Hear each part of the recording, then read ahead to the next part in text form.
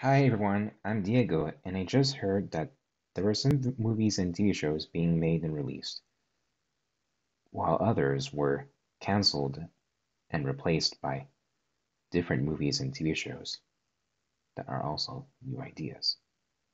For example, Avengers Earth's Mightiest Heroes was going to have a third season, but it was cancelled and they decided to replace it with Avengers Assemble the new TV show.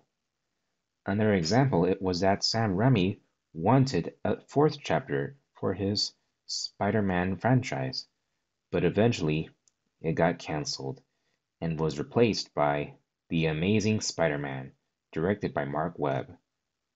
It also served as a reboot.